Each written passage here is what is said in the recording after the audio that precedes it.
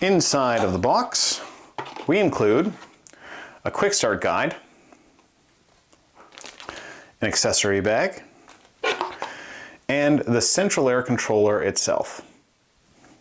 Inside of the accessory bag, you'll find these Wago lever nuts, the reset pin, and two of these sheet metal screws, although you can use your own if you already have some.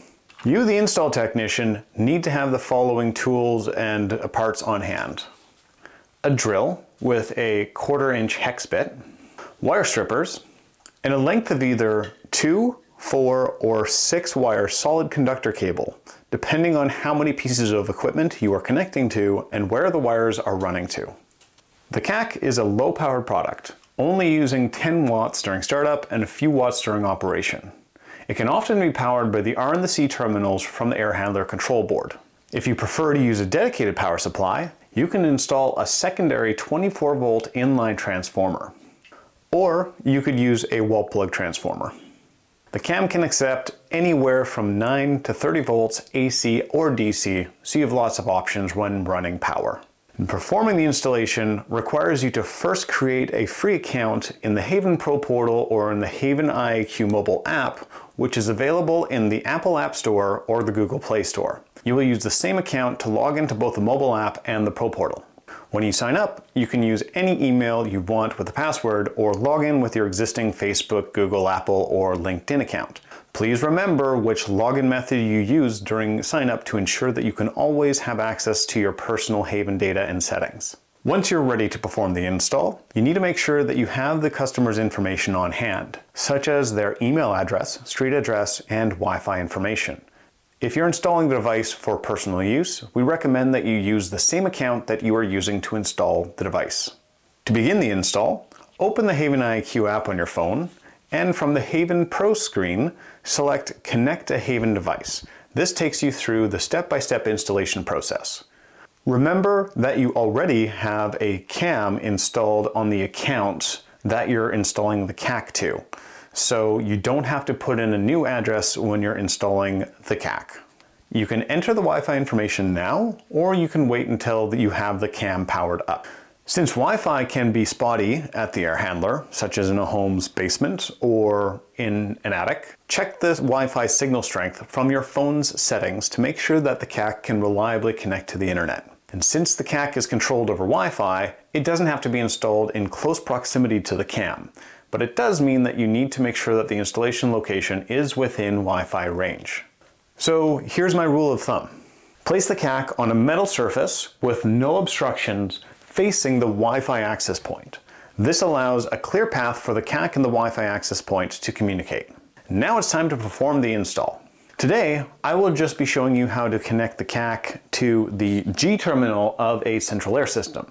When connecting to an ERV or an HRV, there's often a boost or a high mode input that you can connect to. Humidifiers and dehumidifiers often just have a single switch to enable or disable the humidification or dehumidification, but some devices also allow you to control their blower independently through a secondary input.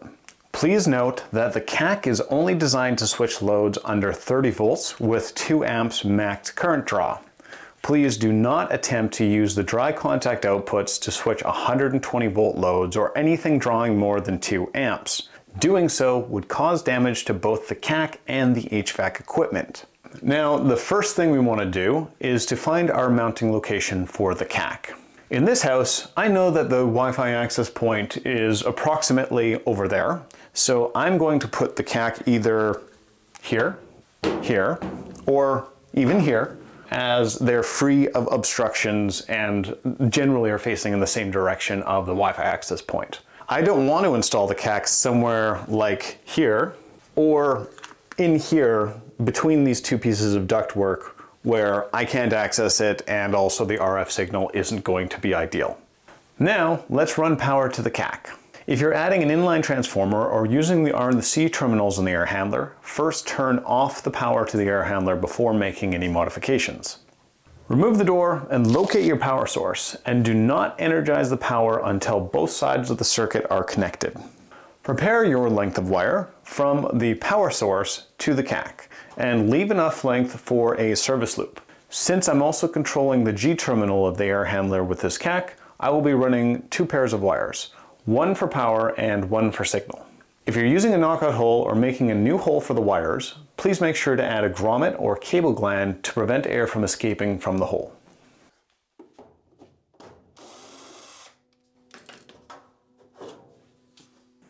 Now strip back 2 inches of the cable jacket and 1 inch from the wire insulation to prep the connection to the power source. Here you can either use the Wago lever nuts and splice the cam power into the 24 volt transformer low side, or if you're planning to use the R and the C for power, you can directly connect to the terminals like you would a thermostat. For controlling the blower, you need to add a wire to the G terminal and another wire to the R terminal. The Wago nuts are especially useful if you have more than one device already connected to the control board terminals, such as with the cam you already installed. After connecting the power source, on the CAC side of the wire, strip back 2 inches of jacket and a half inch of insulation. Now insert the exposed wires into the power terminals on the bottom of the device. You can either use a small slotted screwdriver or the reset pin to depress the terminals to make it easier to connect the wires. The power input is reversible, so don't worry about which wire goes into which hole, as long as it's the color pair that was assigned to the power terminals on the control board. If you are only using one output on the CAC, please connect your signal wires to terminal 1. You can add a second control circuit to terminal 2 if you are controlling two pieces of equipment with one CAC. Make sure the wires are fully inserted by giving them a quick pull test.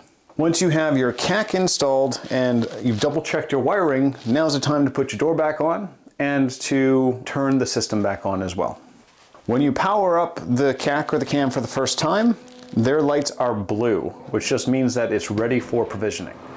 Now that the system's back on, let's provision your central air controller with your Haven IQ app.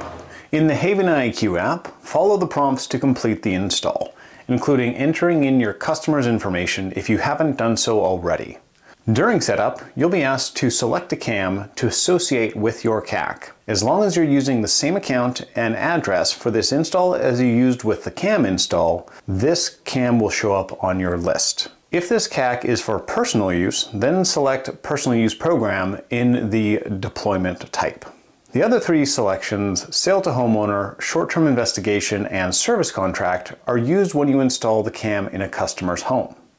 Now you'll be asked to configure Terminal 1.